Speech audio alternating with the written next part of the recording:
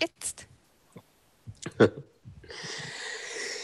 Ja, ein äh, schönen guten Abend und ich grüße euch ganz herzlich. Äh, heute das erste Mal aus der Quarantäne, weil äh, mich heute die Parlamentsärzte in die Quarantäne geschickt hat, weil ich Kontakt zu einer infizierten Person ähm, hatte. Das Gute ähm, dabei ist bei diesen Online-Formaten, äh, dass man dass sie unabhängig macht und ich nicht mal heute eine Maske tragen muss ähm, dabei. Also Vorteile gibt's. Ich begrüße ganz herzlich Katrine Hob zu unserer heutigen Veranstaltung. Schönen guten Abend, schön, dass du da bist. Hallo. Und alle die, alle, die uns heute zuschauen, ob hier direkt über Zoom, ob bei Facebook, bei Twitter oder bei YouTube, gibt ja vielfältige Möglichkeiten. Unser Thema heute ist äh, die Frage Flüchtlingssolidarität, Flüchtlingspolitik in der ähm, in der Region im Norden, insbesondere im Grenzgebiet zu Dänemark. Und Katrine Hob ist unsere kompetente Ansprechpartnerin, weil sie gerade in dieser äh, Frage des Sommers der Solidarität 2015 aktiv in Flensburg am äh, Bahnhof war und heute auch noch in diesem Bereich aktiv ist, also sozusagen äh, wir gemeinsam über Vergangenheit, Gegenwart und Zukunft dieses Thema sprechen können. Das findet wieder statt im Rahmen meines, äh, meiner Veranstaltungsreihe zum Thema Bewegungspolitik in äh, Schleswig-Holstein. aber Katrine ist ja nicht nur aktiv in der Bewegungspolitik, sondern auch noch Kreisvorsitzende der Linken in äh, Flensburg, noch gar nicht so lange. Herzlichen Glückwunsch nochmal. Dankeschön. Und ähm, außerdem äh, kann, bewirbst du dich ja auch um eine Kandidatur für die Liste ähm, in Schleswig-Holstein zum Bundestag, was mich auch freut. So, ähm, damit haben wir die Formalie sozusagen abgehandelt, die kleine Einleitung. Und ähm, du weißt es ja vielleicht, wir machen das in der Regel dann so, dass sich der Gast etwas selber vorstellt. Das bringt gleich so, äh, da kommt mhm. man gleich ins Sprechen, ins Gespräch mit rein und das ist auch nochmal ein Tick äh, persönlicher. Vielleicht hast du Lust darauf. Ja, gerne. Ich kann ja ein bisschen dazu erzählen, so mein Verhältnis zum, zum, zur Grenzregion. Also ich komme aus Nordfriesland genauer bezeichnet aus Eiderstedt und bin da in die dänisch-friesische Minderheit reingeboren worden und bin dadurch ganz automatisch, weil das damals so war, es gab nur ein Gymnasium der dänischen Minderheit, das war in Flensburg, deswegen bin ich in meiner Teenagerzeit dann nach Flensburg gekommen und habe da schon eine Weile gelebt, damals in den 80ern und bin danach zum Studieren nach Hamburg gegangen, wo ich auch lange gelebt habe ähm, und äh, Kriminologie studiert habe unter anderem. Und ähm, dann aber, als ich ein Kind bekommen habe, einfach das Gefühl hatte, dass wenn ich in Hamburg bleibe, dann wird mein Sohn quasi monokulturell und monosprachlich aufwachsen. Und es war mir total wichtig, dann zurückzugehen in die Grenzregion und dann nach Flensburg, um meinem Kind die Möglichkeit zu bieten, genauso die, die Möglichkeit zu bieten, genauso wie ich mit allen Sprachen und Kulturen der Grenzregion aufzuwachsen. So bin ich dann wieder in Flensburg gelandet. Das war 2007 äh, und habe da überwiegend in der dänischen Minderheit gearbeitet. Vorher in Hamburg allerdings habe ich ganz viel verschiedene Sachen gemacht, unter anderem Straßensozialarbeit und an einer Schule gearbeitet und habe dadurch eigentlich schon lange den, einen Kontakt mit dem Thema Migration gehabt durch die Stadtteile, in denen ich gearbeitet habe, auch mit dem Thema Flucht. Gerade im, in, der, in der Straßensozialarbeit sind mir natürlich öfter Menschen auch begegnet, die einen Fluchthintergrund hatten. Und mich hat das immer irgendwie beschäftigt oder, oder interessiert, weil ich das Gefühl hatte, das hatte eine gewisse Nähe. Weil ich komme aus einer Region, wo die Grenze sich ständig äh, verschoben hat und sich dadurch Menschen so wie ich gebildet haben, die mit zwei Sprachen und Kulturen aufwachsen. Und ich fand es immer spannend, Menschen zu treffen, wo sich quasi die Grenze nicht um sie herum verändert haben, sondern sie haben sich im Verhältnis zu einer Grenze bewegt und hatten dann ähnlich wie ich auch mehrere Sprachen und Kulturen. Ähm, wobei mir dann auch in Hamburg sehr deutlich wurde, dass ich so privilegiert bin, mit äh, zwei Sprachen und Kulturen aufzuwachsen, mit denen ich nicht marginalisiert werde oder ausgegrenzt werde. Und das war mir dann in Hamburg schon auch ein interessantes Erlebnis, gerade mit den Schülerinnen und Schülern, mit denen ich viel gearbeitet habe, die mir dann erzählt haben, was es eigentlich heißt, wenn ihre zweite Sprache und Kultur ganz oft nicht als Ressource, sondern als Makel betrachtet wird oder als Problem. Also insofern hatte ich schon so eine Berührung mit dem Thema, aber mit dem Thema Flucht nicht so, also so nah, immer nur so sporadisch. Und dann kam es ja eben 2015, dass es ein Thema wurde in den Medien.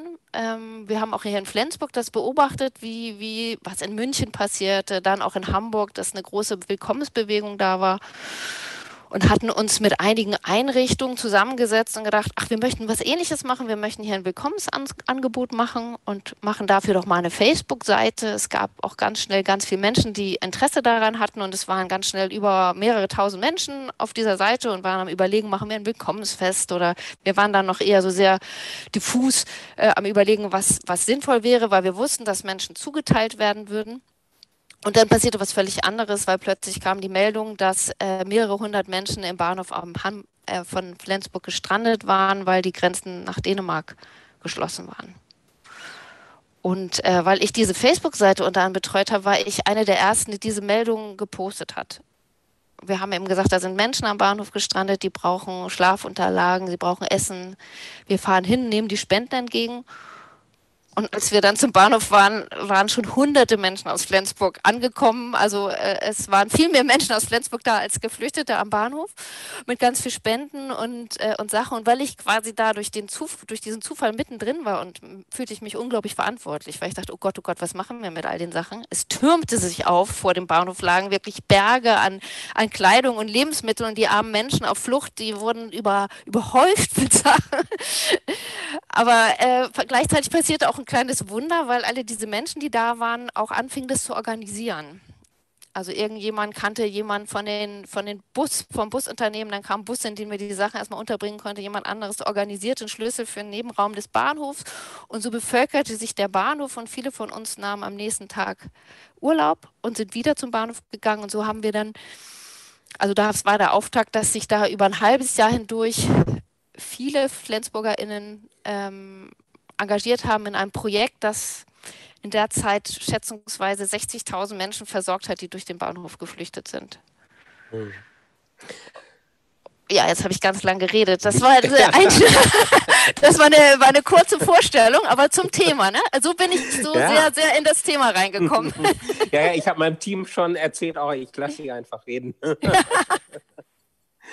nee, ähm, du, du hast eben gerade gesagt, Dänemark äh, hat die Grenzen dicht gemacht.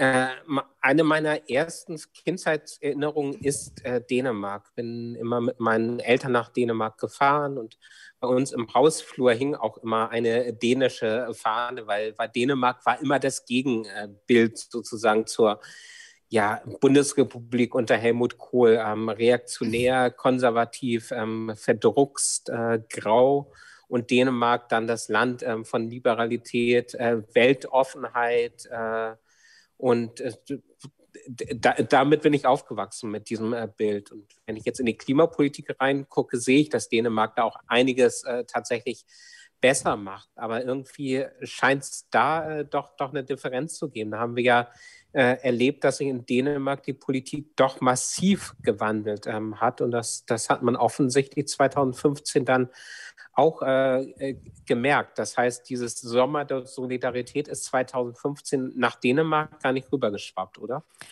Nee, das war ein ziemlicher Schock.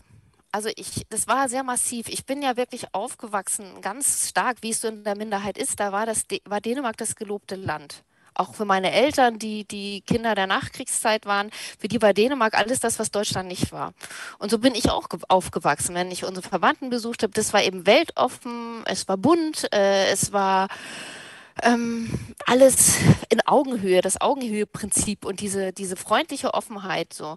Und das war aber schon 2015 schon ganz deutlich, dass sich das veränderte, weil der, der, der, also man muss sagen, dass es in Dänemark mit dem, mit dem Öffnen für einen relativ unkontrollierten Kapitalismus äh, knickte auch dieses Bild. Ne? Also dieser Wohlstand, mhm. dieses, dieses Augenhöheprinzip, plötzlich driftete Dänemark auseinander und das zeigte sich dadurch, oder das wurde in dem Moment ziemlich, das Problem wurde deutlich, weil dadurch dann äh, sehr rechte Kräfte in die Politik gelangt sind.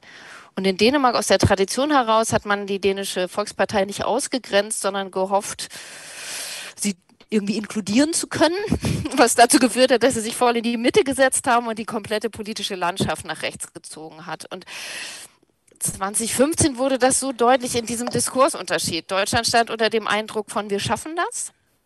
Und das war ja, wir waren ja nicht die einzigen, die das erlebten in Flensburg. Dieses Gefühl, man könne ein, man könnte Deutschland jetzt ganz anders auf die Landkarte setzen. Ne? Wir konnten, also sich so, das war so ein Befreiungsschlag irgendwie. Und ähm, in Dänemark gab es ein ganz anderes Narrativ. Die waren schon, schon, also ich finde ja oftmals, dass Dänemark, in Dänemark sieht man immer die Zukunft. Wir sind ja direkt an der Grenze, man sieht immer, was kommt. Und in Dänemark waren sie da, wo wir uns jetzt befinden, in diesem, in dieser großen Angst vor der Islamisierung, ähm, in einer ähm, einem völlig anderen Diskurs. Und das haben wir am Bahnhof ganz physisch, also ganz direkt gemerkt, weil die Leute kamen eben mit den Zügen an, wo deutsche Bahnbeamte sehr freundlich waren, einfach in diesem Bewusstsein, das sind Menschen auf Not, wir müssen denen helfen. Und dann die dänischen Bahnbeamten in totaler Panik, da kommen irgendwie Kriminelle, die wollen uns irgendwas. Wir hatten unglaublich schwierige Situationen mit eigentlich men freundlichen Menschen, die aber von diesem anderen Narrativ in den Medien geprägt waren. Und das war so ein Kulturclash am Bahnhof zwischen diesen also wo wir ja dazwischen waren und gerade die von uns, die, die, die Spra beide Sprachen sprachen, waren da auch oft in so einer Mittlerinnenrolle. Ich erinnere mich an eine Situation, wo eine der, der Sprachmittlerinnen am Bahnhof ähm, mich fragt, ob ich übersetzen könne, weil der Bahnbeamte sie offensichtlich nicht verstehe auf Deutsch. Und ich bin dahin und habe mit ihm auf Dänisch geredet und es ging darum, dass ein, also die Züge konnten nicht voll belegt werden und im Zug saß die Hälfte der Familie, nämlich die Mutter mit einem Kind und draußen stand der Vater mit einem Kind. Und es ging darum, den Badenbeamten zu erklären, dass die doch bitte entweder alle rein oder alle raus sollten. Und der Bahnbeamte war völlig blockiert. Und nach dem Gespräch meinte die Sprachblitterin zu mir, ach so, es ging gar nicht um die Sprache. Das Verständigungsproblem war nicht die Sprache. Und ich fand das so, das ist so hängen geblieben, dieses Erlebnis, weil zu dem Zeitpunkt war das in Deutschland völlig anders wir hatten ganz, ganz andere Erlebnisse mit den Bahnbeamten. Da war eine, eine große Kooperation, auch die Bundespolizei vor Ort, die komplette Stadtbevölkerung, ähm, unglaublich viele Firmen, die uns unterstützt haben. Da war ein Gefühl von, wir möchten hier eine gemeinsame Aufgabe für Menschen in Not lösen. Ne? Es ging wirklich um Solidarität und in, in Dänemark war schon dieses Gefühl von, oh Gott, oh Gott. Man muss aber dazu auch sagen, es war ja auch eine Befluchtbewegung in Dänemark rein und bei uns aus Deutschland raus. Ich glaube, mhm. dass es an den südlichen Grenzen auch eine andere Situation war in Deutschland. Ne? Wir waren auch in der Luxussituation, bei uns sind sie ja nur durchgereist. Aber ähm, es war schon, also es war schon ein Schock mit der, mit der Politik. Das war die Zeit, wo Dänemark in die Presse kam durch das Schmuckgesetz. Es war dann ein Gesetz erlassen worden, dass Flüchtenden, die reinkommen, Schmuck abgenommen werden könne, auch, auch Eheringe, also alles an Wert, um ihren mhm. Aufenthalt selber zu refinanzieren. Und ich erinnere mich, dass mein Vater damals im Sterben lag und auf seinem Sterbebett noch so, so, so, so einen Weihnachtsbrief geschrieben hat, 2015, dass er doch sehr erschüttert sei, dass alles, wofür er gelebt hat, also er hat sein ganzes Leben in der dänischen Minderheit und für, für die dänische Kultur gelebt, dass es in dem Moment so zerbrochen ist für ihn, wie, wie dieses Land plötzlich solche Sachen machen könne. Ähm, das war auch die gleiche Zeit, also es ist, ist dann ja auch alles sehr schnell gegangen in Dänemark, dass auch Internierungslager errichtet wurden und dass ähm, tatsächlich auch, wenn es keinen Regierungswechsel gegeben hätte, wäre es auch dazu gekommen, ein, eine Internierungslager auf einer einsamen Insel zu installieren. Also es war wirklich, es waren eben Dinge möglich oder sagbar, die bisher oder noch in deutscher Politik nicht so sagbar sind, aber wo ich mich frage, wie lange es noch dauert. Also ich, ich würde jetzt nicht behaupten, dass wir davon frei sind, sondern in Dänemark geht einiges einfach schneller. Mhm. Und, ähm, und, ja. Und, und das mit den Grenzen des Sagbaren, das, das erleben wir ja auch in Deutschland so ein bisschen, wenn wir auf die AfD gucken, wenn wir ähm, auf die Asylpakete auch gucken, eben nach 2015 mhm. wieder die deutsche Bundespolitik schon, ähm, obwohl damals die AfD noch eine außerparlamentarische Opposition war, wieder trotzdem die deutsche Bundesregierung, SPD und äh, CDU, und ich glaube, beim ersten Asylpaket haben sich, glaube ich, die Grünen auch noch enthalten, wie sie da wirklich äh, äh, de, dem nachgekommen äh, sind und wie die AfD die auch vor sich hergetrieben hat. Also die AfD hat dann immer weitergehende Forderungen ja. äh, gestellt und äh, die deutsche Politik war immer ähm, ein Jahr quasi hinterher mit ihren Asylpaketen. Also ein bisschen hat man schon gemerkt. Aber sag mal, in Dänemark hat es da jetzt eine Änderung gegeben. Also ich glaube, wir haben jetzt eine sozialdemokratische oder äh, bei euch äh, oder in Dänemark ähm, sagt man sozialistische Regierung, glaube ich. Ähm, und ja. Mhm. und auch Linksgrüne ähm, mit in der Regierung beteiligt. Und äh, ist da eine spürbare Änderung auch in der, gesellschaftlichen Klima ähm, zu, zu merken? Also ich glaube schon, dass die also dass die, der Wechsel äh, möglich wurde, weil Menschen gemerkt haben, es geht zu weit. Man muss ja auch sagen, dass die Verschärfung in der, in der Einwanderungspolitik ja auch alle Menschen treffen. Also das heißt nicht nur die, die gemeint sind, auch ganz viele andere. Es gibt in Dänemark inzwischen ganz viele Menschen, die, was weiß ich, an der Uni lehren oder so und plötzlich äh, Probleme mit ihrem Aufenthaltsstatus haben, weil es so massiv verschärft wurde. Es ist ja auch so in Flensburg, dass viele dänische Ehepaare hier leben, weil wenn ein Partner ein Nicht-EU-Staatsbürger ist, dann, dann geht es in, Dänem also in Dänemark nicht so einfach. Also das hat ganz viele andere getroffen, als die, die auf Flucht waren. Und das haben, glaube ich, in dem Moment, wo Menschen selber betroffen war, haben sie gemerkt, nee, so, das geht uns jetzt zu weit. Deswegen gab es einen Regierungswechsel. Man muss aber auch sagen, dass die dänische Sozialdemokratie deswegen so gut abgeschnitten hat, weil sie zu großen Teilen ausländerrechtlich zumindest die Forderungen der vorherigen Regierung übernommen haben. Ne?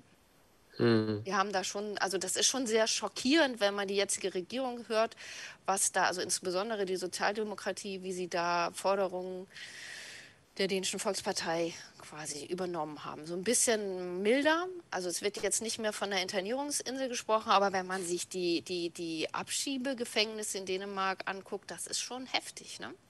Also das sind hm. Hochsicherheitsgefängnisse, in denen Menschen festgehalten werden, die nichts verbrochen haben, außer dass sie Sicherheit suchen. Hm. Aber in Schleswig-Holstein wird oder, oder ist mittlerweile auch ein Abschiebegefängnis ja. äh, wieder errichtet äh, worden. Also jetzt, wo du sagst, ähm, Leute werden interniert. Und äh, ich, ich glaube, die Leute auf engem Raum zusammengefärcht ist ja jetzt gerade auch in dieser Krise ein großes Problem, was eigentlich überhaupt gar nicht im Fokus ist. Nee, das ist eine totale Katastrophe. Es ist ja auch jetzt tatsächlich in Deutschland schon eine Katastrophe in vielen Unterkünften.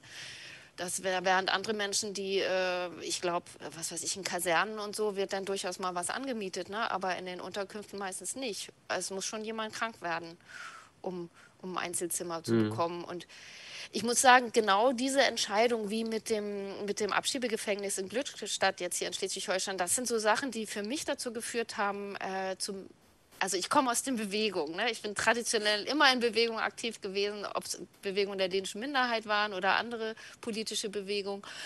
Und habe mich eigentlich nicht so sehr für parlamentarische Politik interessiert, weil ich aus einer Tradition komme, wo man sagt, das ändert eh nichts. Ja? Also ich bin zwar immer brav wählen gegangen, aber immer gedacht, nee, das ist nicht so wichtig. Und ich habe in dem Moment wirklich gemerkt, dass es eben eine Rolle spielt, ob du eine Vertretung hast, also ob die positive Impulse aus der Zivilbevölkerung auch aufgegriffen werden. Und wir mhm. haben ja 2015 eine unglaubliche Welle der Solidarität erlebt und die ist ja nicht vorbei. Die Menschen sind ja immer noch aktiv, in großen mhm. Teilen. Ist es aber nicht aufgegriffen worden politisch. Es sind ja. eben andere Impulse aufgegriffen worden. Und, und, und dass wir wirklich ein Abschiebegefängnis in Schleswig-Holstein haben, das sind so Momente gewesen, wo ich gemacht, gemerkt habe, nee, man muss sich auch parteipolitisch engagieren. Es muss auch eine Kraft geben im Parlament, die diese Impulse aufgreift weil ich auch daran glaube, dass da ganz viel möglich ist. Also weil ich es erlebt habe. Ich habe erlebt, was das macht. Also was es mit der ganzen Stadt gemacht hat, von der wir, also eine, eine Energie, von der wir ja immer noch profitieren. Und hm. ähm, ich glaube, also ich, es, und es schockiert mich, es ist ja gerade jetzt total interessant. Also wir haben ja ähm, in der Zeit 2015 was erlebt, was, was sonst in der EU noch nicht so gut funktioniert, nämlich eine äh, europaweite Zusammenarbeit. Wir haben damals am Bahnhof wirklich von äh, Griechenland bis Finnland gut zusammengearbeitet mit anderen Aktivistinnen. Und, ähm, und wir hatten das Gefühl, Mensch, das, das überträgt sich. Wir schaffen gerade, wir, wir gestalten gerade ein neues Europa.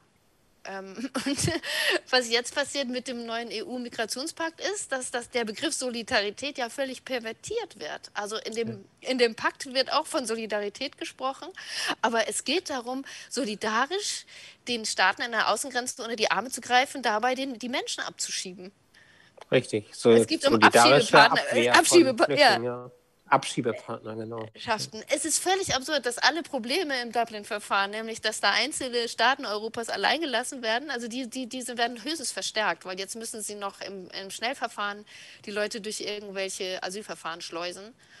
Und, ähm, und was dafür ein Geld reingepumpt wird, also in diese, in die Abschottung und in die Abschiebeverfahren. Und ja. Äh, während wir hier stattdessen immer noch in einer Situation sind, wo ein ganz großer Teil der, der ähm, Willkommensarbeit oder der solidarischen Arbeit im Ehrenamt geleistet wird, immer noch. Also, weil das ist so ein bisschen der Fehler oder der Haken dran, dass wir uns da engagiert haben, was natürlich und richtig war, ist ja aber aufgegriffen worden in so eine Ehrenamtskultur. Also es ist ja jetzt so, es wird ja ganz viel immer noch freiwillig äh, gemacht. Ähm, ja, ja, ich, ich gehöre jetzt zu denen, also ich ja. sagte anfangs, ich will vielleicht gar nicht über meine jetzige Arbeit sprechen, aber es bietet sich jetzt an. Ich gehöre zu denen, die davon profitiert haben. Ich arbeite jetzt tatsächlich in dem Bereich. Ähm, weil ich irgendwie zu der Zeit, als ich mich engagiert habe, war ich, äh, war ich den ganzen Tag vorm Rechner und habe Kommunikationsarbeit gemacht und habe danach gemerkt, wie bereichernd es ist, mit Menschen zu arbeiten. Und ich arbeite jetzt auch hauptberuflich in dem Bereich, aber merke ja, wie viel von der Kernarbeit im Ehrenamt geleistet wird, immer noch. Hm. Während, und die Stellen, die geschaffen werden, sind interessanterweise ganz wenig äh, sozialarbeiterische Stellen in dem Bereich, sondern ganz viel so Koordination des Ehrenamts. Das ist so der Tenor. Ne? Wir müssen das Ehrenamt unterstützen. Und ich, ich merke selber, weil ich jetzt in dem Bereich bin, äh, es ist so eine Fehl, also es ist so viel genutzt worden und damit äh, fährt man die Leute auch müde, die in dem Bereich arbeiten, ne? weil die sich alleingelassen fühlen. Na, diese, dieses Wir schaffen, das war ja vielleicht auch so, so ein bisschen äh, sowas, sich, sich genau darauf äh, auch zu verlassen. Mhm. Und dass, dass die Strukturen, die eigentlich nötig, nötig wären, ähm, nicht geschaffen worden sind. Und jetzt in der Corona-Krise ist man vielleicht ganz froh, dass nicht so genau hingeguckt wird. Also auch Moria, ähm, das Flüchtlingslager auf den griechischen ähm, Inseln, auf Lesbos, das, das war ja kurz in den Medien und ist dann relativ schnell wieder äh, verschwunden. Also in, wir hatten jetzt in Kiel äh, hatten wir eine relativ große Demo ähm, ausgehend von äh, der Seebrücke. Aber seitdem ist es wieder relativ still äh, geworden. Und ich habe das äh, Gefühl, dass so ein bisschen diese Verschiebung äh, des, des Fokus einfach da, dazu genutzt äh, wird, jetzt da auch Fakten zu schaffen, gerade mit dieser Abschiebepolitik, die du eben beschrieben hast. Da. Ja, ja, das ist ja auch schwierig. Ich meine, das, was passiert ist, auch durch diese, wenn man sich überlegt, dieses große Engagement, das hätte man ja auf einem ganz anderen Level halten können, wenn man nicht die Engagierten so frustriert hätte. Einmal durch eine viel zu hohe Arbeitsbelastung, weil, weil quasi die Entlastung nicht wirklich gekommen ist, die man sich erhofft hat. Wir haben ja immer alle gedacht, wir, wir überbrücken jetzt erstmal und dann wird es schon äh, öffentliche Strukturen geben, die das abfedern. Und dann natürlich auch die, durch die Frustration, dass das gar nicht möglich gemacht wurde, gute Arbeit zu machen, weil, weil wir haben ja die Situation, dass die Menschen, die hierher geflüchtet sind, zu einem großen Teil, also das kann man jetzt nicht sagen, vielleicht vielen geht's, bei vielen ist auch gut, alles gut gelaufen und das läuft gerade positiv, aber für einen großen Teil ist der Aufenthalt ja immer noch nicht gesichert. Und ein ganz großer Teil ist, ist, ist quasi gescheitert, weil sie hergekommen sind in der Hoffnung, ihre Familie auch nachholen zu können. Das heißt, wir ja. haben mit ganz vielen äh, gescheiterten Menschen zu tun oder Menschen in Angst und müssen das dann zum Großteil im Ehrenamt, Ehrenamt auffangen. Damit schafft man natürlich ganz viel Frustration ne? und, und, und macht systematisch dieses, diese, diese gute Basis für Zusammenleben, Zusammenleben kaputt und ich glaube, das führt auch ein bisschen dazu, dass es ist auch noch, es ist schwer, dieses, dieses äh, Engagementslevel hochzuhalten. Also wir merken das auch hier. Wir haben auch eine starke Seebrücke hier in Flensburg und auch im Kreis Schleswig-Flensburg. Äh, aber es ist ganz schwer, Menschen noch zu mobilisieren, weil, weil, weil es so deprimierend ist. Also weil mhm. es so mhm. wenig Erfolgsaussichten hat. Wenn ja. man sich selbstwirksam, wenn man diese Selbstwirksamkeit spürt, die wir damals am, am Bahnhof hatten, ja. dann macht man gerne was. Und ich glaube, es wäre auch weiterhin so. Ich glaube, es gibt sehr viele Menschen, die immer noch bereit wären, auch einen, einen, großen Beitrag zu leisten. Aber wenn man das Gefühl hat, dass das systematisch zerstört wird oder also ich meine, die Bilder aus Moria, dieses ist ja, das ist so ein, ein, ein Graus. Und auch, mhm. auch das Wissen darum, das ist, glaube ich, auch für viele sehr deprimierend gewesen, dass wir hier ein halbes Jahr Menschen versucht haben zu helfen oder auf der Flucht solidarisch beizustehen und inzwischen wissen, dass ein Großteil von denen vermutlich nie in Sicherheit gelangt ist. Also viele von denen sind inzwischen wahrscheinlich wieder abgeschoben oder wieder zurückgeflüchtet und auf der Suche nach irgendeiner einer sicheren Perspektive. Und dann fühlt man, das ist dann natürlich irgendwie keine gute Basis. Hm. Und also es gibt ja auch schon ein paar äh, Stimmen, äh, die, die sagen, naja, jetzt haben wir die Corona-Krise und jetzt müssen wir uns erstmal um die hart arbeitenden äh, Leute sozusagen kümmern hier in Deutschland und können uns nicht noch um Geflüchtete kümmern. Und äh, wenn man sich um Geflüchtete kümmert, das ist eher sowas, ähm, um sich dann als Gutmensch zu zeigen. Das ist, das ist mehr äh, so, so eine Identitätspolitik. Und gerade als Linke sollten wir uns mehr auf die sozialen Themen äh, konzentrieren. Wie, wie stehst du dazu? Mehr soziale Themen oder? Naja, ich finde nicht, dass es sich dass es in irgendeiner Art und Weise im Konflikt zueinander steht, weil es ja alles zusammenhängt. Also es ist ja ein, ein, ein ein, äh, ein Themenkomplex, das, das dann ja auch wieder ganz eng mit dem Themenkomplex, mit dem, wo du spezialisiert bist, zusammenhängt, die ganze Umwelt- und Klimapolitik. Ne? Also eigentlich hängt ja, ist, ist es ja alles, also ich finde es ganz schwierig, das voneinander zu trennen, weil es nur als Gesamtthemenkomplex bearbeitbar ist. Es gibt ja Gründe, warum die Menschen flüchten. Auch gerade die jetzigen größten Fluchtbewegungen sind ja nun auch klimabedingt. Ähm, das Klima ist auch eine soziale Frage. Ne? Also Klimagerechtigkeit, das ist, ist, ja nicht zufällig. Also die größten äh, Klimasünden äh, stehen ja auch im Zusammenhang mit, ähm, mit bestimmten äh, groß äh, multinationalen Konzernen, die äh, das wiederum machen. Also das heißt, wir können da nicht irgendeinen Aspekt rausgreifen und damit ein Problem lösen. Wir können es nur als Gesamtkomplex lösen. Mhm. Und ähm, ich hatte damals eigentlich das Gefühl und habe das immer noch, ähm, dass die Flucht total notwendig ist, damit wir diesen Zusammenhang erkennen. Also wir haben ja sehr lange in so einer Blase gelebt, wo wir dachten, äh, wir können weiter hier so wirtschaften und dieses, dieses Leben so weiter nach vorne treiben. Es hat keine Konsequenzen. Wir können in dieser Blase leben und, und uns rum geht es den Leuten schlecht, aber es war ja immer schon so. Also ja. ich erinnere mich an so ein Gefühl in meiner Kindheit, das ist immer so hängen geblieben, dieses Gefühl, na, in Afrika hungern die Kinder. Ja. Das war so ein bisschen wie, wie, keine Ahnung, am Nordpol ist es kalt. Das ist, war Gott gegeben quasi schon. Ne? Da konnten wir irgendwie nichts dran ändern. Man musste da natürlich genau. nett sein und hinspenden, aber mit mir hat das nichts zu tun. Doch, doch, doch, du sollst den Teller aufessen. Ja, genau. Ich soll deswegen dankbar sein. Das ist ja. vielleicht der einzige Link. Ich soll dankbar sein und wenn man richtig großzügig ist, spendet man zu Weihnachten ein bisschen. Und, genau. ähm, und ich glaube, ähm, mir wurde es irgendwann mal bewusst, um mal wieder meinen Vater zu zitieren, der immer schon gesagt hat, mein Vater hat schon gesagt, das geht nicht lange gut. Irgendwann werden die Leute das merken. Ja. Dass das nicht in Ordnung ist, was wir hier machen. Ne? Und das fand ich 2015, dachte ich, naja, jetzt endlich, endlich. Jetzt sehen wir es. Das geht nicht weiter, wir müssen unser Leben radikal ändern, weil das ist nicht haltbar. Und äh, das sehe ich eben so. Ich finde es naiv. Ich finde die Vorstellung völlig naiv uns abzuschotten und dann um unsere eigene soziale Frage zu kümmern. Weil das ja. ist ja, ist ja völlig unrealistisch. Es kann zwar sein, dass wir eine Weile die Leute raushalten, aber ja nicht auf Dauer. Und es wird auch nicht das Gesamtproblem lösen. Ja. Zudem ist es ja tatsächlich so, dass, dass all das, was wir sozusagen hier haben, der, der gesamte Kapitalismus und der, der Reichtum der Industriestaaten aufgebaut ist auf einer extremen Form der Ausbeutung einer extremen Form der Ungleichheit. Und was, was du eben gesagt hast, dass es immer schon so war, dass, das soll ja genauso auch dargestellt äh, sein. Das heißt, es ist schon immer äh, so gewesen. Es wird schon Grund haben, dass es so immer gewesen ist. Und äh, die Leute, die woanders geboren sind, haben dann halt äh, Pech gehabt. Aber stattdessen ist es eben gesellschaftliches Verhältnis. Der, der Reichtum, den wir hier haben, ist nicht äh, zu denken ohne die Armut äh, der anderen, die außerhalb äh, der, der Zentren äh, sozusagen sind. Und deswegen war es ja auch gut, dass du eben noch mal den Klimawandel äh, angesprochen hast. Habe ich heute gerade äh, gehört, 80 Prozent, sagt man, der aktuellen Naturkatastrophen sind darauf zurückzuführen. Und der Klimawandel ist, ist genau das Ergebnis. Der Klimawandel ist Ausdruck und Ergebnis äh, eine extreme Ausbeutung und extremer Ungleichheit. Und eine Linke, die diese Verhältnisse nicht sieht, ähm, begreift die soziale Frage aus meiner Sicht überhaupt nicht.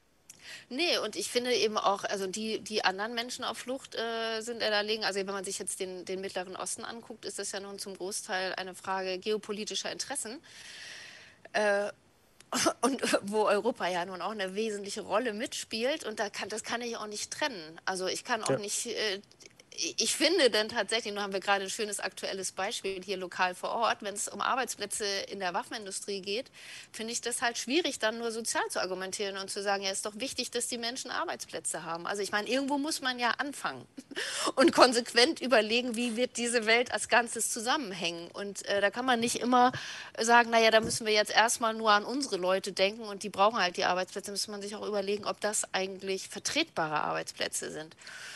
Und ähm, mhm. ich weiß, dass es nicht immer beliebt ist, so zu denken, aber ich hatte den Eindruck, dass ähm, gerade mit, mit der, also in 2015 da so eine Öffnung dafür war, so eine Erkenntnis. Und ich glaube, den meisten von uns, die sich engagiert haben, ging es genau so. Da ging es um viel mehr. Es ging nicht nur darum, in dem Moment Teil dieser Bewegung zu sein und, und vor Ort oder dieses wirklich zugegebenermaßen sehr gute Gefühl, jemandem konkret helfen zu können. Es ging auch um so ein Gefühl von, wir schaffen eine neue Welt. Also wir hatten ein Stück Gefühl von, wir sehen, wir sehen so in die Zukunft. Wir hatten Momente, glaube ich, der totalen Euphorie, weil wir dachten, es geht auch anders. Und, und da waren auch andere Momente drin. Also da ging es gar nicht nur ums Helfen, sondern war auch dieser Moment dieser unglaublichen Fülle an überflüssigen Dingen. Ja. Also am Bahnhof hatten wir ja auch so, so, ein kostenloses Kaufhaus quasi, wo die Menschen sich versorgen konnten auf Flucht. Und es wurde so viel abgegeben. Also Leute ja. haben offensichtlich so viel doppelt und dreifach zu Hause, weil man ja wahrscheinlich immer den neuesten Toaster braucht. Haben wirklich einige Hausstände haben da drei funktionierende Toaster abgegeben. ich meine nicht, dass man die so auf Flucht braucht, aber es, danach im Anschluss ging es dann auch mehr um Menschen, die sich neu eingerichtet haben oder Winterkleidung oder ich weiß nicht wie viel Schlafsäcke. Es wurde also uns extrem deutlich vor Augen geführt, in welcher, in welchem Wahnsinn wir eigentlich leben in diesem äh, konsumorientierten Leben. Und, und, das Interessante war auch, dass alle, die am Bahnhof aktiv waren, glaube ich, in diesen fünf bis sechs Monaten nichts gekauft haben, was nicht dringend notwendig war, weil das einfach so klar war, was ist das für ein Irrsinn, in dem wir drin stecken, der uns auch nicht glücklich macht. Also ich muss ja sagen, dass ich selten so glücklich war wie in diesen Monaten. Ich hatte vorher immer gedacht, dass optimale Freizeit darin besteht, auf dem Sofa zu liegen und Serien zu gucken. Und plötzlich habe ich gemerkt, nee, optimale Freizeit besteht darin, mit anderen Menschen was, was ähm, Sinnhaftes zu machen. Ja. Ganz, ganz toll war natürlich auch die Zusammenarbeit, weil da Leute am Bahnhof zusammenkamen, die sich sonst nie getroffen hätten. Also wir waren zwingend darauf angewiesen, dass Menschen vor Ort waren, die die Sprachen sprachen der Menschen auf Flucht. Und dadurch kamen ganz viele Menschen zum ersten Mal in, in, in, in das Erlebnis, dass sie äh, eine wichtige Ressource hatten, damit zum Beispiel Arabisch sprechen zu können. Also ja. ganz viele junge Menschen, die da am Bahnhof waren, die zum ersten Mal im Leben das die Sprache, die sie zu Hause gelernt haben, sinnvoll, also oder so einsetzen konnte oder, oder ein Feedback kriegt, auch nützlich damit zu sein.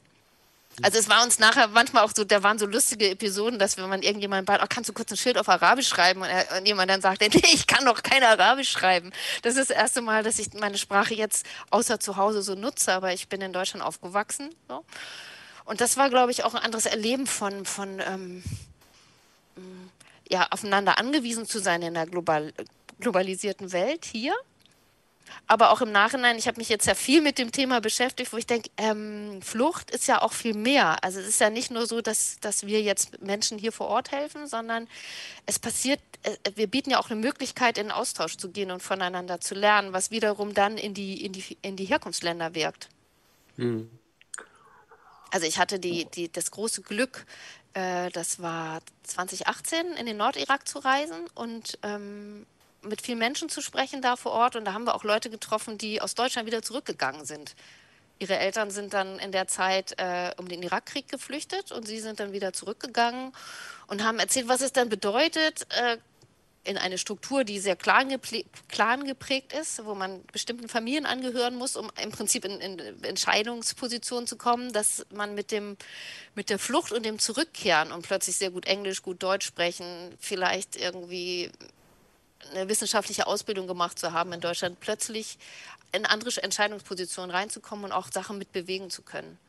Also ich habe eine Frau kennengelernt, die die Agrarwissenschaften studiert hat und nachhaltiges Landwirtschaft dann versucht hat in Dörfern umzusetzen, wo ich denke, naja, das ist mal, das ist mal äh, ähm, Fluchtursachen äh, bekämpfen, die was will. Ne? Und was anderes mhm. als, was ich da auch erlebt hat, diese ganzen NGOs, die dann diese großen Camps betreuen, was sicherlich auch wichtig ist, was aber ja nicht wirklich reinwirkt in die Gesellschaft.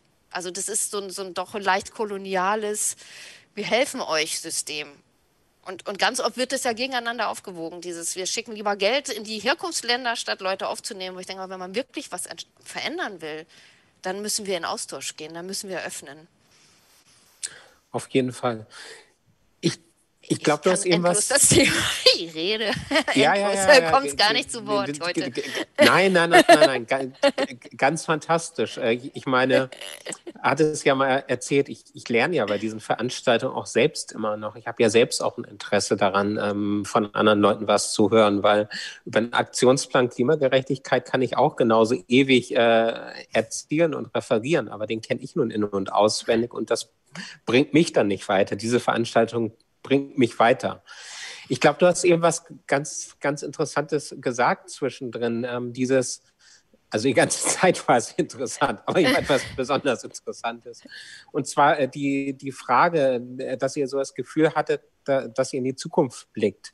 Und dass eben du auch gemerkt hast, dass es nicht nur darum geht, auf der Couch äh, zocken und mhm. Netflix äh, zu gucken, sondern dass man so im gemeinsam mit Solidarität äh, was erreicht. Das ist etwas, was ich auch immer wieder gemerkt. Also ich, ja, ich habe es auch äh, 2015 in Kiel ähm, äh, gemerkt. Da, da war ich auch da, da dran, allerdings in Kiel eben ähm, beteiligt und ähm, dann ähm, mit kleinen äh, Kindern, die dann ähm, gestrahlt haben, wenn sie äh, irgendwas äh, unterstützt, irgendwas gekriegt haben oder so. Oder eine, eine, Familie, die ich dann in meinem Büro dann geholt habe, die äh, da sozusagen kurzfristig mal eine Verschnaufpause sozusagen gekriegt hab und, äh, haben und sowas. Und das merke ich aber auch wieder in anderen äh, Situationen, wenn ich unterwegs bin mit Ende Gelände und wie irgendwelche Sachen blockieren oder so. Und ich, ich glaube, dass, dass was auch eine Linke ausmacht, dass es erfahrbar werden muss, dass sich etwas verändern, nicht nur verändern muss, und dass wir ähm, irgendwelche Programme und Konzepte haben, äh, wie sich das verändern könnte in der Zukunft, sondern dass wir als Linke auch immer genau solche Momente schaffen müssen, wo, wo Menschen sich selbst erfahren können, wo, wo Menschen selbst in Aktion kommen. Weshalb mir das ja selbst so wichtig ist, die, diese Verknüpfung von Bewegungspolitik und ähm, der, der Parteipolitik. Und, und ähm, das ist eigentlich etwas, woran wir anknüpfen müssen, dieses, dieses Fenster in die Zukunft äh, zu zeichnen, was du eben beschrieben hast. Ja, und auch, dass viele, viele Sachen, die Menschen Angst machen, also Veränderungen, die Menschen Angst machen, in Wirklichkeit keinen Verzicht bedeuten. Ja also es gibt ja immer diese Sorge, um, um, um, um, um das, dass das Leben schlechter wird. Ne? Und wenn, wenn in dem Moment so deutlich wird, das macht aber die Lebensqualität nicht höher. Klar, es gibt natürlich einen gewissen, eine Basis, die notwendig ist. Das, das erfährt man natürlich in so einer Situation auch, wenn man mit Menschen konfrontiert ist, die nicht mal die, die nicht mal Schuhe haben, die passen. Ne? Also da wird einem klar, dass es natürlich auch um, um, um Wohlstand geht, aber eben nicht um grenzenlose ähm, Anhäufung von, von Dingen und vor allen Dingen ähm, wird eben, ja, wird, wurde uns in diesen Momenten also deutlich, dass ganz andere Qualitäten, dass, dass, es um was ganz anderes geht und dass menschliches Leben eigentlich auch was ganz anderes sein könnte. Ich glaube, wir sind, viele von uns haben auch Lebensentscheidungen getroffen danach, unser Leben umzustellen, um festzustellen, wir wollen nicht weiter nur in dieser Mühle sein. Weil was bringt uns das? Also das, das treibt unsere Erde in den Ruin und uns selber ja mit. Und das sind ja auch so Momente, wo man wirklich lebt und wo man auch Spaß hat, ähm, weil, weil man einander begegnet und plötzlich Raum wird für etwas, was sonst in unserer Welt so wenig Platz hat.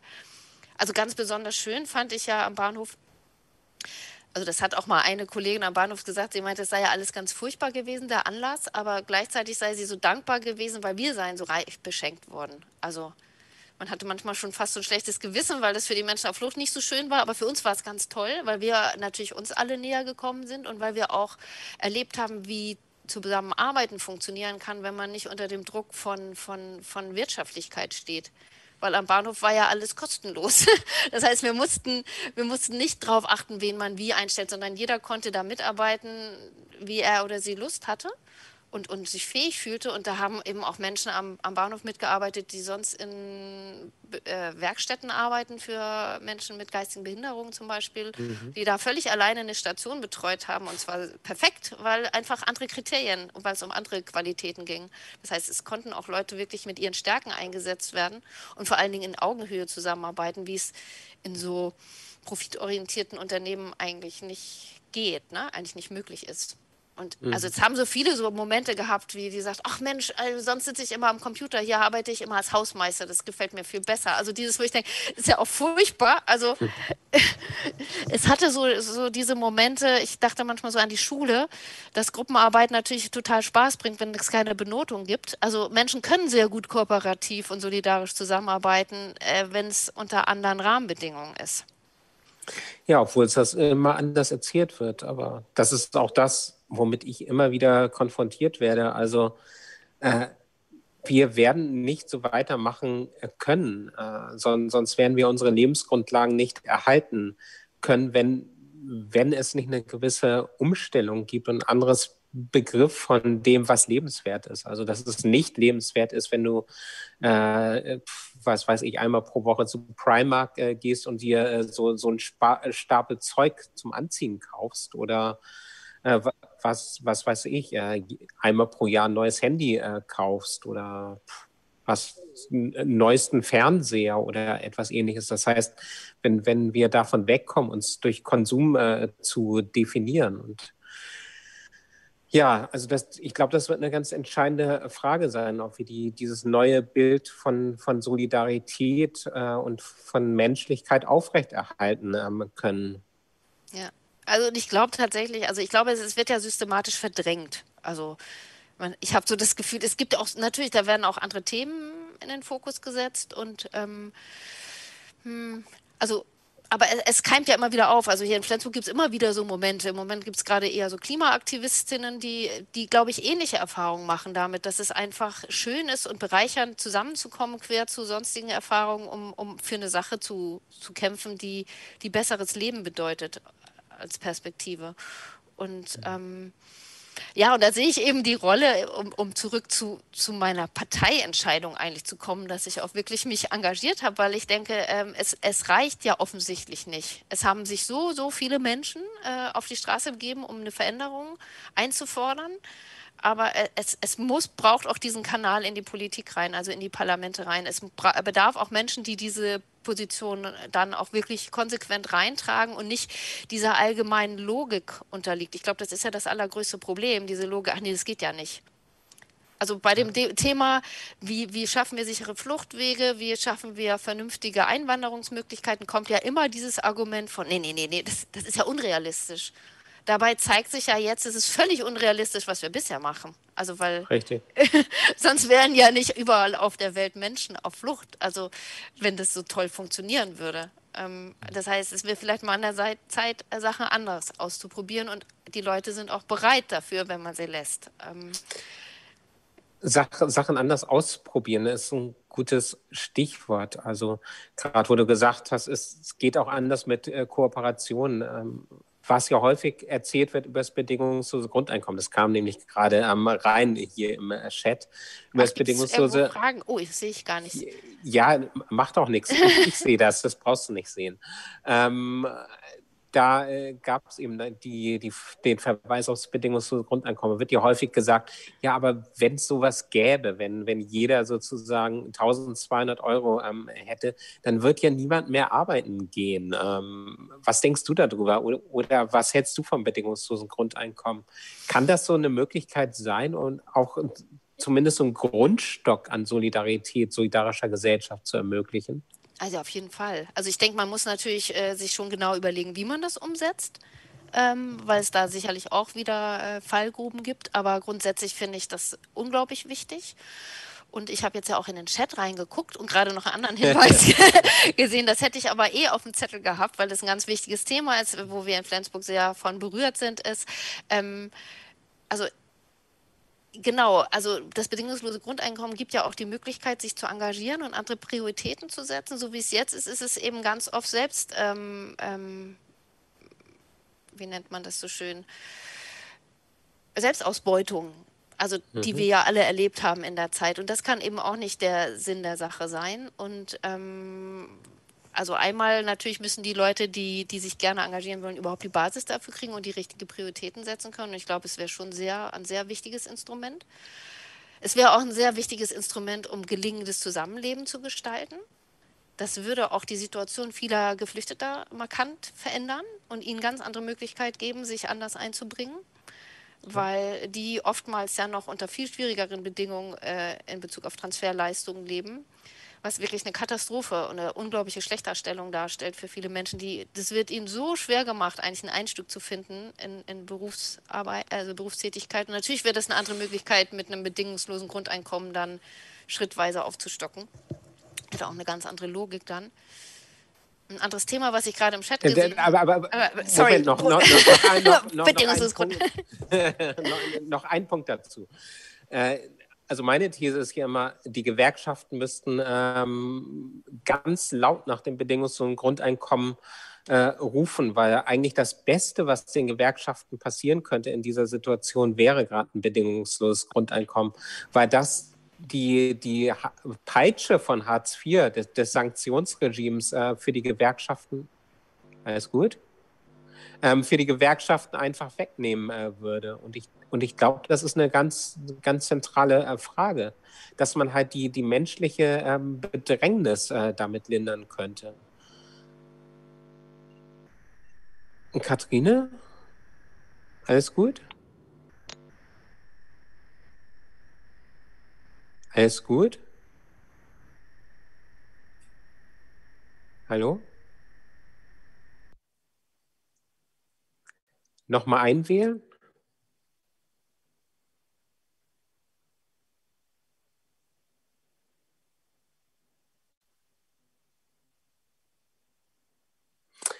Ähm, ja.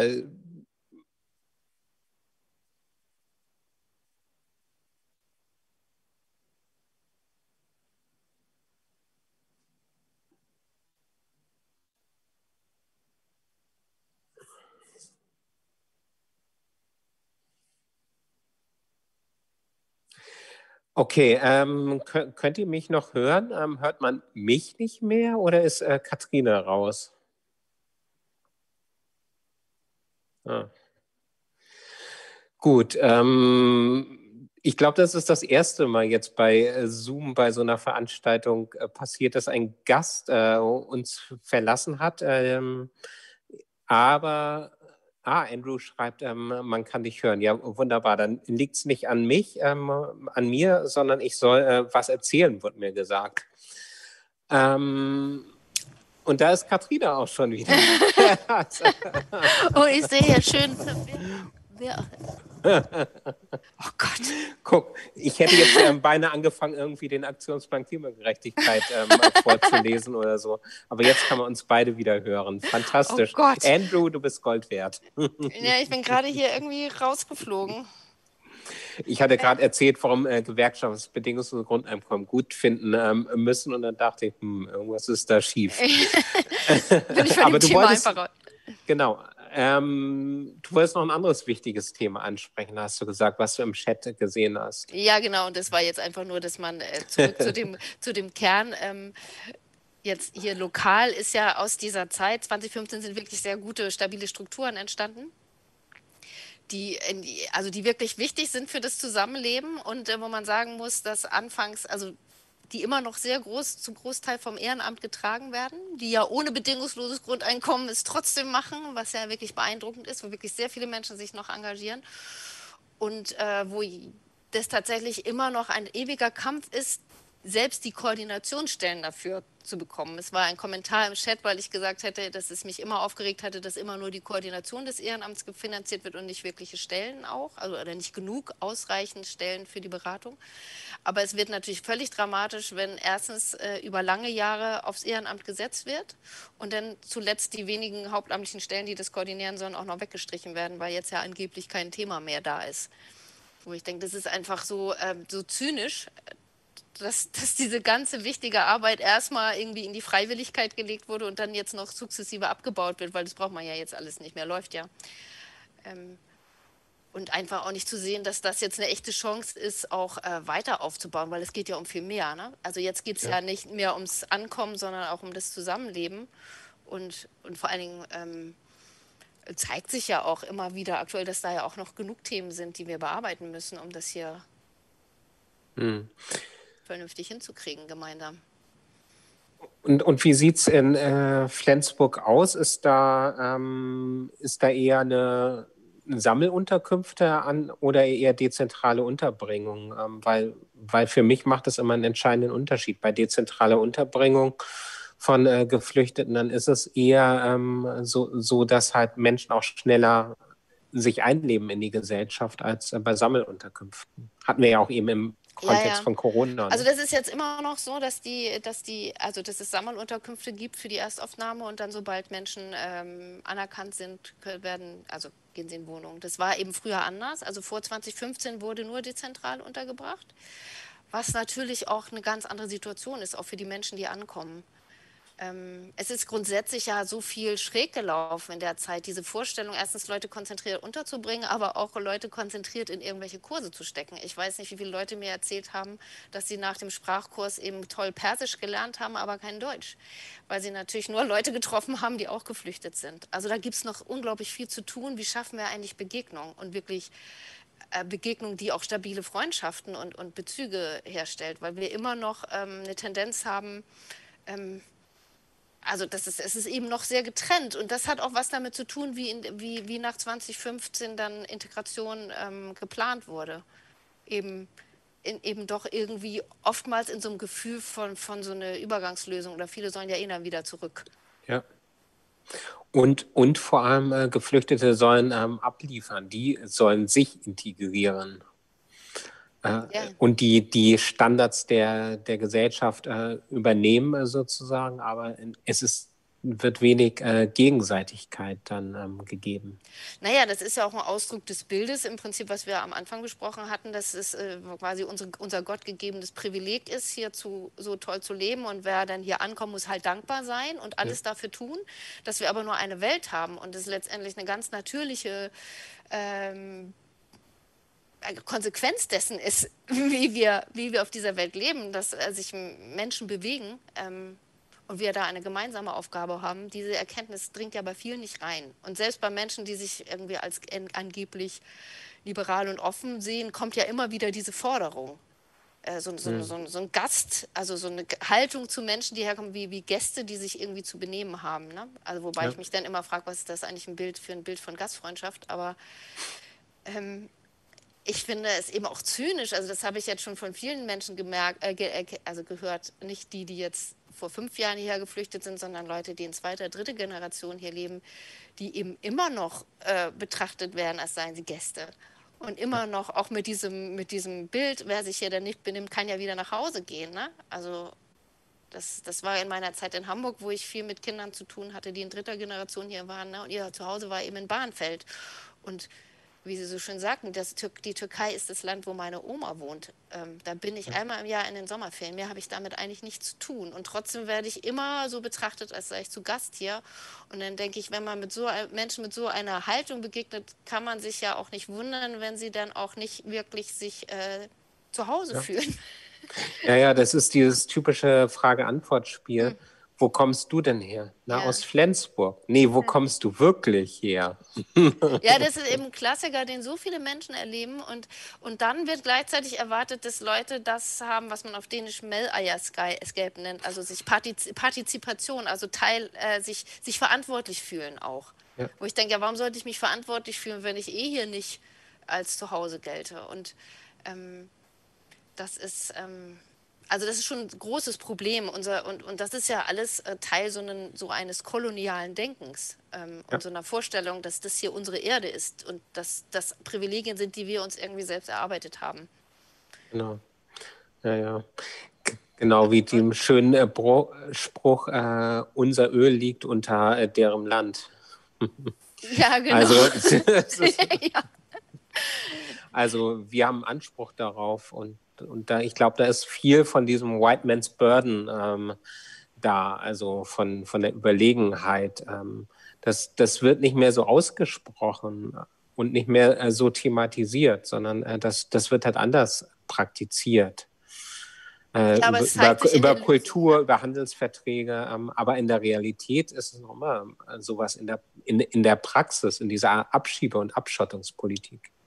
Ja, und es ist ja auch in dem Moment stellt, etabliert man ja auch eine Ungleichheit, die extrem ungünstig ist für ein gutes Zusammenleben. Also wenn man so, sich so abschottet und es so Also ich glaube übrigens auch, dass eine Durchlässigkeit ähm, sehr viel verbessern würde für viele Menschen. Also auch die Möglichkeit geben würde, zum Beispiel leichter zurückzugehen. Also wenn ich weiß, ich kann mal gucken, ob es vielleicht wieder geht in meiner in meinem alten Dorf, mache ich es natürlich eher, als wenn ich weiß, wenn ich das tue, kann ich nie wieder zurück. Also würde ich ja selber auch nicht machen. Und wo ich denke, diese eigen, das eigene Privileg, was ich habe, überall hinreisen zu können. Also als ich in den Irak gereist bin, habe ich am, am Flughafen kostenlosen Stempel in meinen Pass gekriegt und konnte einfach rein. Aber wenn jemand hierher möchte, müssen sie sehr viel Geld herlegen und jemanden haben, der ihnen eine Verpflichtungserklärung gibt, nur um hier Urlaub machen zu können. Denke ich, das, ähm, das schafft ja auch kein, kein gutes gemeinschaftliches Gefühl für Verantwortung. Und ähm, ja, also das ist schon, ähm, also ich glaube, und das ist, glaube ich, jetzt um zurück zur Politik zu kommen, Lösung findet man eben nicht im Rumreparieren. Ne? Also Lösung findet man ja. nur, wenn man diese gesamt, diese, also eine internationalistische Haltung dazu entwickelt und sagt, ja, hier, wir haben ein Gesamtkomplex, mit dem wir uns befassen müssen. Und dann wird sich schrittweise darin auch was zurechtpuzzeln. Aber die Vision muss irgendwie klar sein, weil dann, dann entscheidet man auch anders. Also ich glaube, wenn man die Vision ist, wir wollen eigentlich alles so bewahren, wie es ist, nur ein bisschen menschenfreundlicher und ein bisschen ökologischer und so, dann kann man, kann man natürlich natürlich, also wird man den Kern ja nicht auflösen. Ja, das, das denke ich auch. Und wir, wir gehen ja jetzt langsam auf die Bundestagswahl äh, zu. Als, also da du jetzt ja in der linken Flensburg Verantwortung übernommen hast, kann ich ja einfach mal äh, fragen, welche Schwerpunkte setzt ihr denn da? Ähm, spielt dann Migrations-, Flüchtlingspolitik, Antirassismus, äh, spielt das für die linke Flensburg dann im Hinblick darauf auch eine Rolle? Ja, sicherlich. Also das ist einfach ein wichtiges Thema.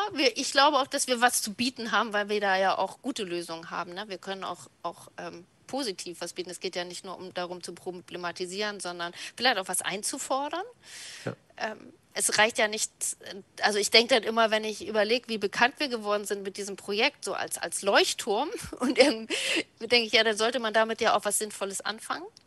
Also ich mhm. glaube nicht, dass man damit die ganze Welt retten können, aber von Ansatz her glaube ich das eigentlich schon. Ich glaube, da liegt der, der Keim oder so eine Saat dafür, in welche Richtung es gehen kann. Und deswegen ist das sicherlich ein Thema, aber ich glaube, es ist immer nur an dem Gesamtkomplex zu denken, wo es auch wirklich um große Reformen gehen muss, auch wirtschaftlicher Art, um natürlich auch neu sowas denken zu können. Ja. Also wir, wir brauchen natürlich auch eine Möglichkeit, anders zu investieren. Ähm, genau in solche Projekte, wo es jetzt darum geht, jetzt ganz konkret, um das zu benennen, wenn wir eine Flüchtlingshilfe haben, in der ganz viele Menschen sich ehrenamtlich engagieren und es vielleicht nicht mal das Geld da ist, um auf, auf dauerhaft eine, eine eine feste Stelle zu sichern, die den Laden überhaupt aufhält, ja, mhm. dann ist es eine komische Prioritätensetzung in einer globalisierten Gesellschaft, wo wir so viele Themen zu bearbeiten haben. Und da müssen wir natürlich auch an Steuerpolitik denken und ähm, also das, es lässt sich nicht getrennt betrachten. Ne? Aber ich denke, dass die Linke als einzige, also das ist für mich die, die deutliche Entscheidung, die Linke ist die einzige, die da auch tatsächlich Lösungen anbietet. Weil, weil sowas, also eine andere Prioritätensetzung muss eben sich an, auf allen Ebenen politisch durchschlagen. Richtig.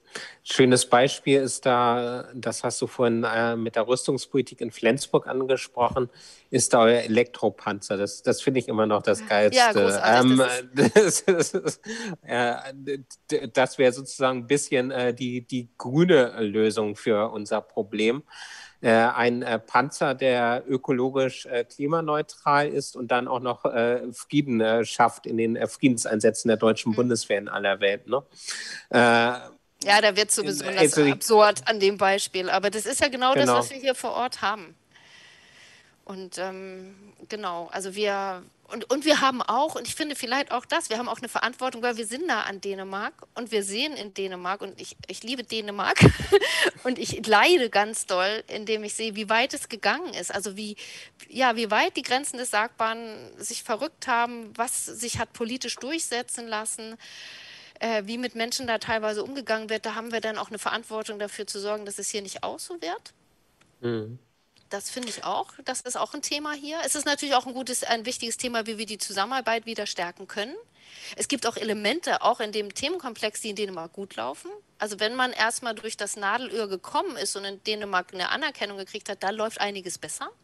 Ja. Das ist, da, da, da funktioniert das dänische System eben schon. Es ist einfacher in Dänemark dann Sprache zu lernen, auch Arbeit zu finden und Also ich glaube schon, dass wir da gerade aus der Grenzposition sowohl negativ und positiv viel ziehen können, auch, äh, auch politisch und das auch mhm. einbringen können. Das denke ich auch. Du, ich habe gerade von meinem Team äh, gehört, wir, wir, müssen, wir sind da, ja, ja, wir sind, wir, wir sind am Ende, äh, aber äh, ganz bestimmt nicht am Ende unseres äh, Gesprächs, unserer ähm, Aktivitäten. Das äh, werden wir fortsetzen, werden wir auch fortsetzen im Bundestagswahlkampf äh, sicherlich. Ähm, ich danke dir ganz herzlich für, für dieses Gespräch. Was hat mir viel äh, Spaß gebracht und ähm, ich hoffe unseren Zuschauerinnen auch, die ja auch ein, ein, bisschen sich hier und da im Chat geäußert haben. Ähm, ich äh, weise noch mal darauf hin auf äh, eine nächste Veranstaltung, auf die ich mich äh, freue. Am Donnerstag, 26.